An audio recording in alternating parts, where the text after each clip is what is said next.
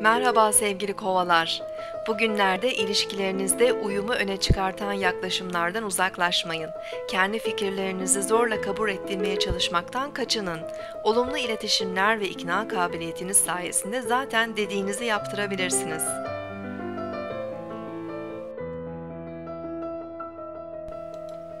Bugün 6 Mayıs 2014 Salı, Mars günündeyiz. Aslan burcunda ilerleyen ay güne canlı, yaratıcı, sosyal enerjiler verecek. Sabah saatlerinde Ay-Venüs üçgen görünümü duygusal enerjimizi ve yaratıcılığımızı yükseltirken ilişkilerimize de olumlu yansıyabilir. Güzellik, estetik, makyaj, saç bakımı ile ilgili uygulamalarda verimli sonuçlar alabiliriz. Öğleden sonraki saatlerde Ay önce Mars ardından Uranüs'le olumlu açılar yapacak. Enerji ve motivasyonumuz artacağından hem iş hem de özel hayatımızda girişimlerde bulunabiliriz. Eğlence, toplantılar, sosyal organizasyonlar, sanatsal faaliyetler için destekleyici bir gündeyiz.